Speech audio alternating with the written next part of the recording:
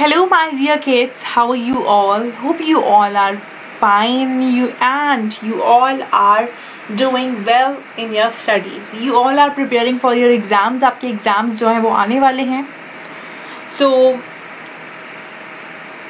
today I'm here with a very interesting topic. I'm here with the chapter number one of class fourth English Wordsworth. So the chapter is the Claver Jackal and today I'm here with the words meanings of the chapter.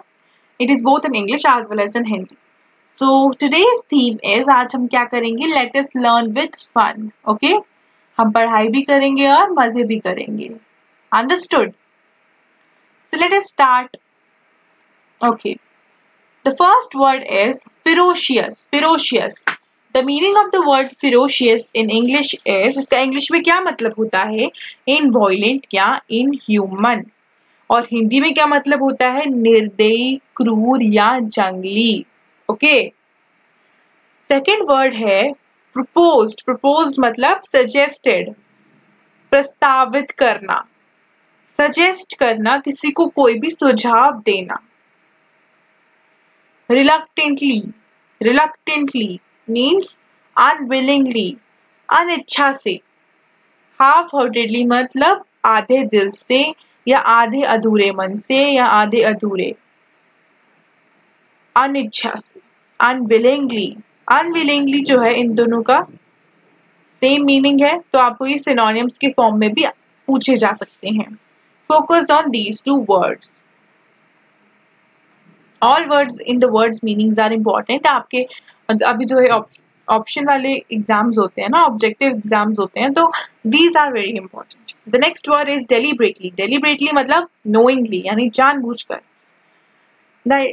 Next word is usual usual means normal या सामान्य.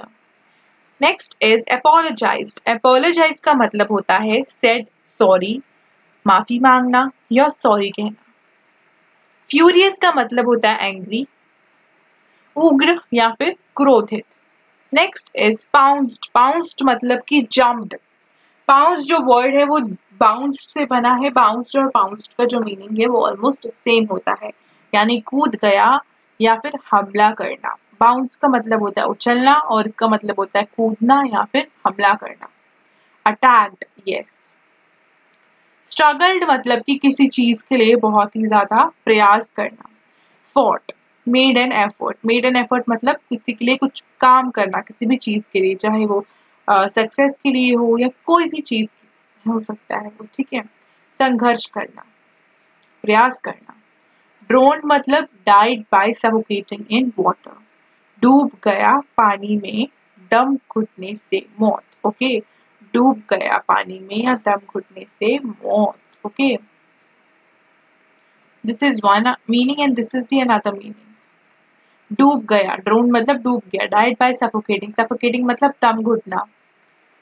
So friends मेरा यहाँ पे main motive क्या था इस video को बनाने का? यू मस्ट बी थिंकिंग ये वर्ड मीनिंग्स तो हमारी बुक में भी दी है हम वहाँ से लर्न कर लेंगे but the main thing is that when you learn from book जब आप इंग्लिश टू इंग्लिश लर्न करते हो तो आपको मुश्किल होती है फिरोशियस वॉयलेंट अच्छा आप एक टाइप की रट्टाफिकेशन you try to cram the words but cramming is not at all needed आपको जो है रट्टा मारने की कोई भी ज़रूरत नहीं है। आपको उसका हिंदी में मतलब समझना है बच्चों एंड तब आपको उसको लर्न करना है। आपको जैसे कोई भी वर्ड है आप उसका थोड़ा हिंदी में ऐसे सोच के रख लो फिरोशियस मतलब कि अच्छा जंगली। तो वो जंगली था जयकाल जंगली था या लायन जंगली था जो भी जंगली था आप चैप्टर के हिसाब से नहीं आप कुछ भी सोच लीजिए। तो uh, अच्छा ठीक है। So by this word you can This way you can learn the words and their meanings as well और आपको अगर गलती से सेंटेंस में यूज करने के लिए भी आपको अगर यूज करना पड़े तो आप अच्छे से यूज कर सकते हैं it will be very beneficial for all of you. So the main motive is you all have to learn the words in a very smart way. मतलब समझ के not by cramming rectification करके नहीं. So thanks for watching this video. The next topic will be Mayur the Peacock. Okay. So thanks for watching. अगर आपने हमारे channel को subscribe नहीं किया है तो अभी के अभी सब्सक्राइब कीजिए हम आपको आपका पूरा कोर्स कंप्लीट कराएँगे वो भी आपके एग्ज़ाम के साथ साथ फ़र्स्ट फ़र्स्ट एग्ज़ाम में आपके टू या थ्री चैप्टर्स आते हैं वो सारे कंप्लीट हो जाएँगे आपको इस ऐसे तरीके से पढ़ाएँगे कि आपको लगेगा कि आप स्कूल में ही हो सो so, इस वीडियो को ज़्यादा से ज़्यादा शेयर कीजिए अपने फ्रेंड्स के साथ ताकि जो भी बच्चे प्रॉब्लम फेस कर रहे हैं पढ़ाई में इस लॉकडाउन इस पैंडमिक पीरियड में वो सब जो है अच्छे से कैप्चर कर पाए चीज़ों को okay so thanks for watching once again हमारे चैनल को सब्सक्राइब कीजिए। हमारा नेक्स्ट टॉपिक मयूर होने वाला है। Thanks once again stay safe stay healthy and watch all our video till end अच्छे से समझिए इन चीज़ों को. They are very helpful okay bye bye